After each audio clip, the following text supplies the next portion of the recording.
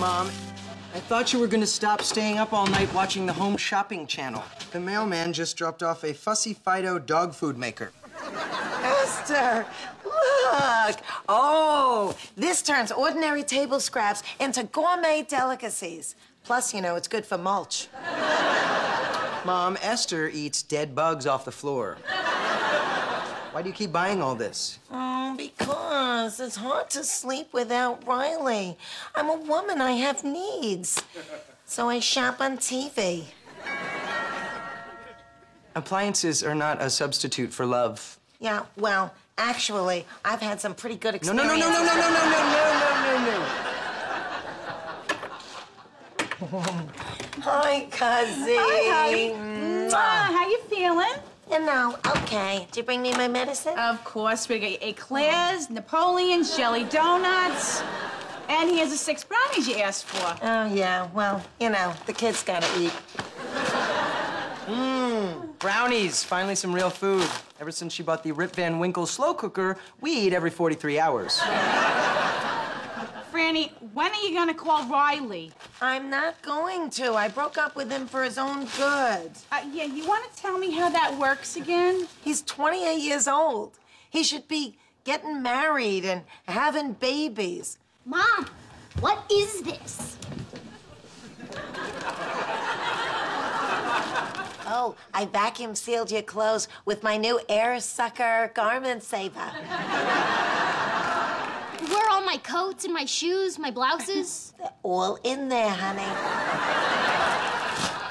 well, good, because I need stuff in there to wear for me and Becca's talent show audition. What are you guys doing? Well, I sing. Yeah, and I wear this really cute little halter top and a leather skirt, fishnet stockings, and mid-calf boots.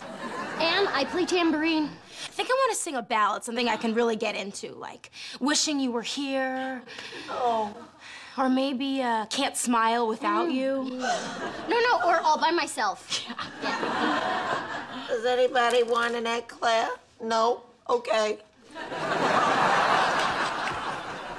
Fran, this is ridiculous. You are going to call Riley. No, I'm not. And stop saying his name. It's hard enough for me to stop thinking about him. The other day I watched the news and I burst into tears. Why? It was the O'Reilly factor. oh, Riley! This Napoleon looks great. Oh. Meanwhile, Meryl, if you want to keep Danny, I'd lighten up on the Napoleons there. or you're gonna end up like, uh, how should I put this? Uh, the girl who gets lucky when the bar is closing. Franny, I'm pregnant.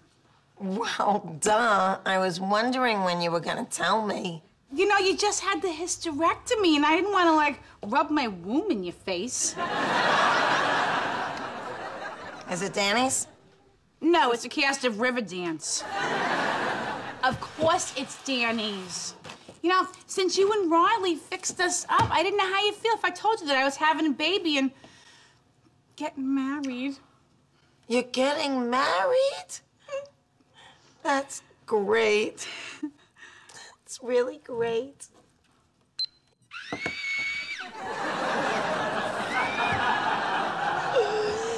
Thank you, Tissue Buddy 4000.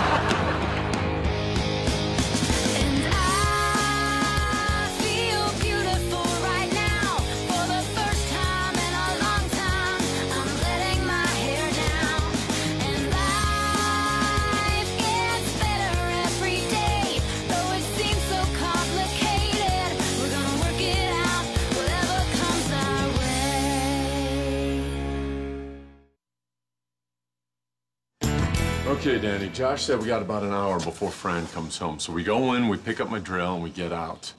And when we're talking to Josh, everything's cool with me. I'm doing great. Yeah, but you're not. You're a mess. Why don't you just call her? Tell her you want her back. See, that only works if I broke up with her. Well, we gotta do something, because you teared up like a little girl last night watching Terminator 2. That robot was the only father that kid ever knew. Hi, Josh. Hey.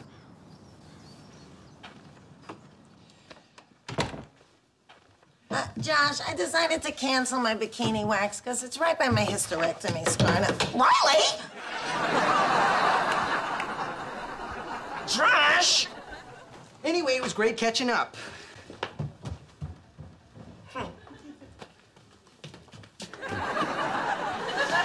Josh said he wouldn't be here, so I came by to pick up my drill. Uh oh, okay. Isn't this usually when you go to your Pilates class? I didn't really ever go to Pilates class. I just used to say I did so I could pretend to be sore and then you'd massage me. Where'd you go? Oh, you know, there's always a wine tasting somewhere.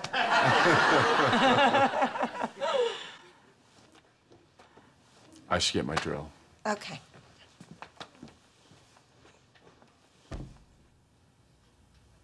How's he really doing? He's a basket case. He watched a rerun of The Nanny and got all sad because she reminded him of you.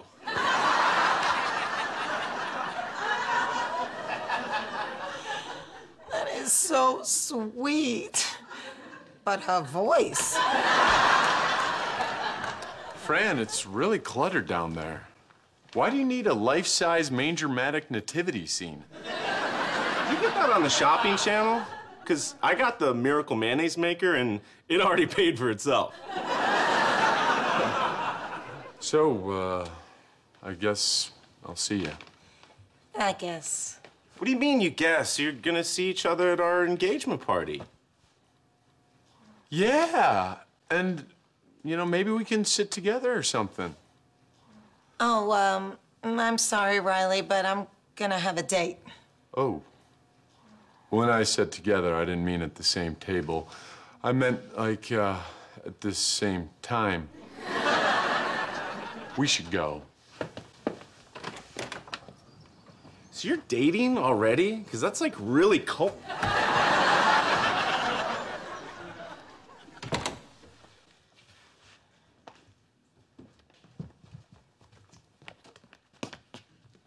What are you looking at? I didn't invite Riley over so you could confront him, find closure, and I could stop living off brownies and cocktail olives. and frankly, I don't appreciate the accusation. Well, thanks to you, I now have to find myself a date. Why? Why? Because he wants to sit next to me at Cousin Meryl's engagement party. Do you know how freaking irresistible I'm gonna look that night? Josh, you know I broke up with him for his own good. Yeah, I heard you the last hundred times you said it. You don't want Riley to waste his life. Okay, fine. Maybe I did it a little bit for me, too. I mean, what is going to happen to me in 20 years when he decides to dump me? He'll go to a younger woman and start a new family. While I'll be back in the meat market trying to hide my expiration date. So where are you gonna find a date in two days? Listen, there are plenty of single men that shop at the supermarket, and they're always looking for beautiful, sophisticated women. Especially when you're not wearing a bra in the frozen food aisle. Is there anything she won't say in front of me? Memories may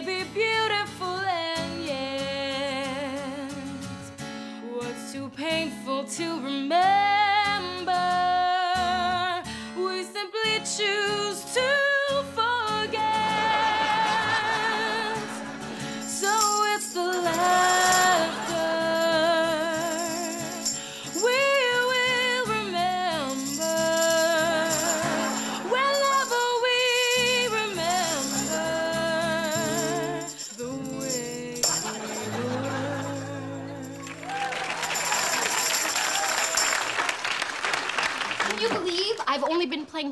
tambourine for what, like a year? And you were magnificent, Princess. thank you, Daddy. You, could be Simon and Garfunkel, Hall and Oates, or any other duo where both members are equally talented. Are you okay, Fran? Is my mascara running? Uh, no. Then I'm fine. Franny, I had no idea you were this sensitive. Did you cry like this when we split up? Only when the champagne cork hit me in the eye. Well, you can't see the scar. The crow's feet hide it nicely. You know, Ted, you should be nicer to me. Because when you had your heart attack, I was supposed to go for a manicure, but I didn't go because you said you were gonna die. And meanwhile, here you are. Franny. Oh, Meryl, it's so unfair. You're pregnant. You can't even drink with me. Not true. There are new rules now. You are allowed one glass of wine a day. Oh, good. Mm, no, I have my own breakfast already.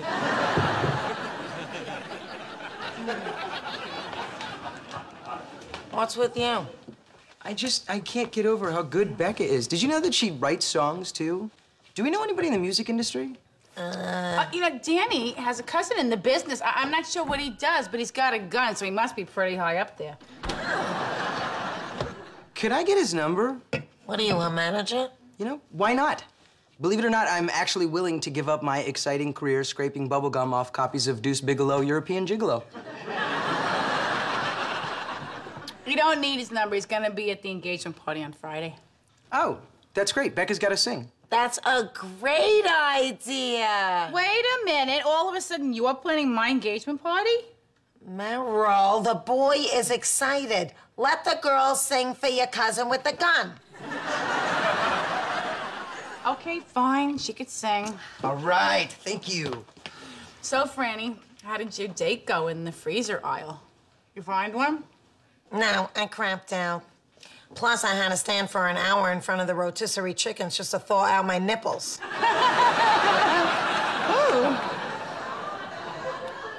Well, what are you gonna do?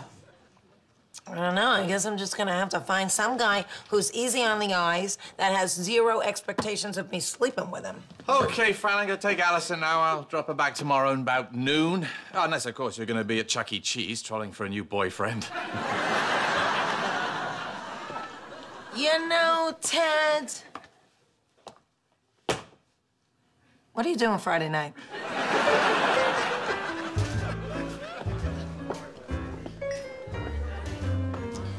Fran, are you sure you didn't invite me here just so you could make Riley jealous? Oh, right, Ted. I was trying to make Riley jealous, so I invited some middle aged English guy with a bad ticker and a body that looks like boiled chicken.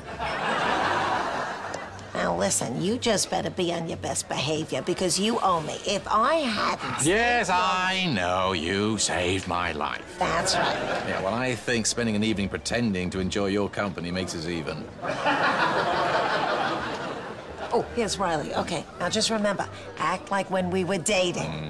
Only get your hands off my ass. Well, I'm sorry. I was headed for your back. It seems the landscape's shifted a bit since my last visit.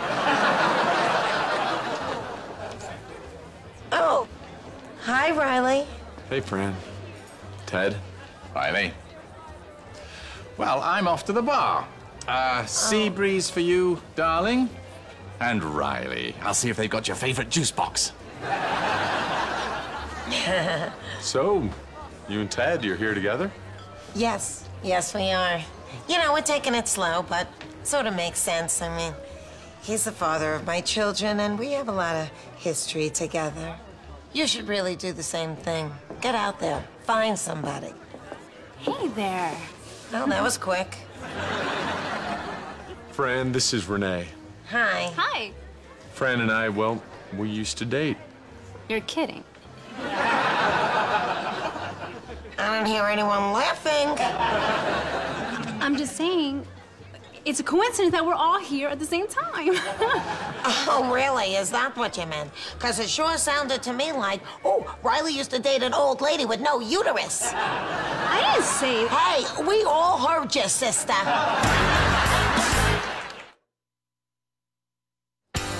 So, uh, in closing, I don't know if you noticed, but Meryl's pregnant. And when I find the guy, I'm gonna kill him.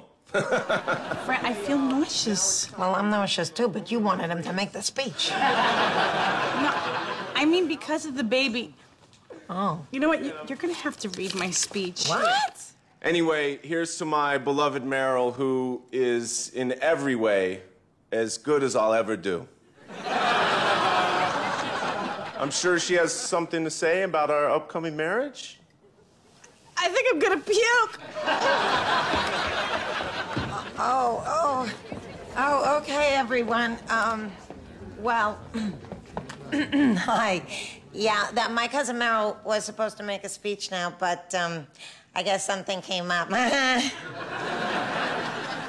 um, to all outward appearances, Danny and I do not fit.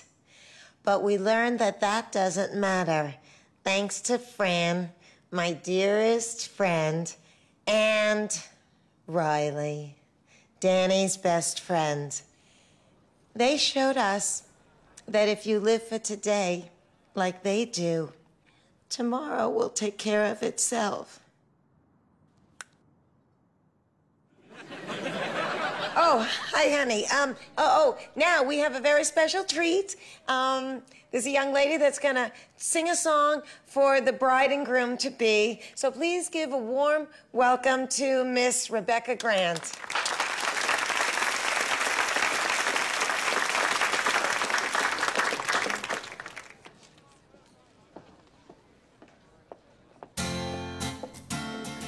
So you think this is the next pop diva, huh? Oh, yeah, she just turned 16. Whoa. kind of old, isn't she? Okay, she's 12. She'll lie about her age. My mom will coach her.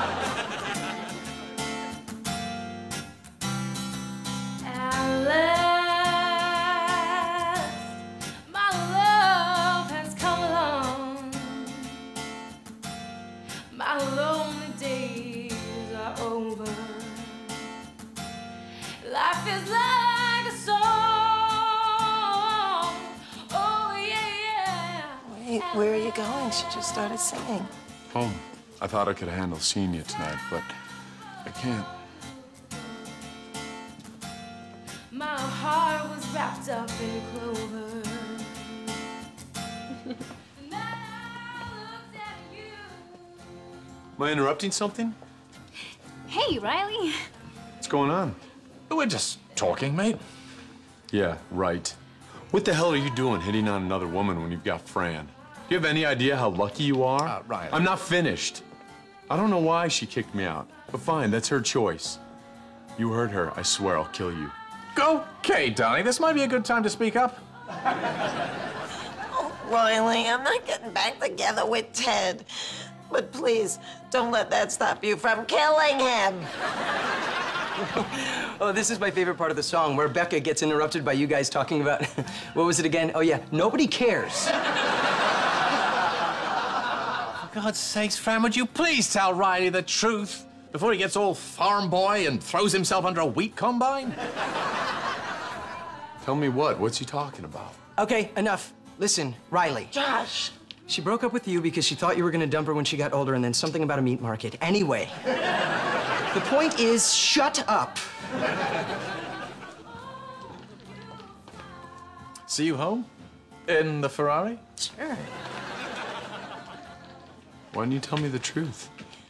Because you were just going to say that I was wrong and you were never going to leave me for a million years, and I'm older. And I know that someday you are going to feel differently. Well, you are wrong. And why are we talking about someday? What about today? I love you, Fran, and I miss you. Don't you miss me? Every moment of every day. Oh, I've spent so much money buying stupid stuff on the shopping channel, and I don't even have anybody to put it together. And I still have your Barbra Streisand CD in my truck. I play it all the time because it reminds me of you. Really? Ask my foreman. Last week, I gave him a ride home and he invited me in for cocktails. okay. You know what? I'm gonna count to three. And if you're still here, I'm gonna kiss you. One.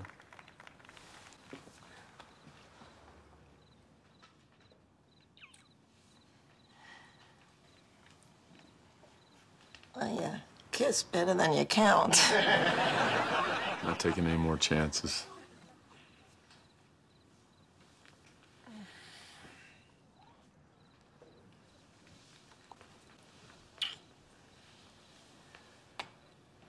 Hey, why don't you come back to my place and have some cocktails? and then move back in with me? Nope. Mm, why now? Because I'm not going to go back to the way things were, Fran. I'm not going to be just some young guy living in your house. It's Josh's job. Oh, Riley. No. This time it's all or nothing, babe. Fran? Will you marry me?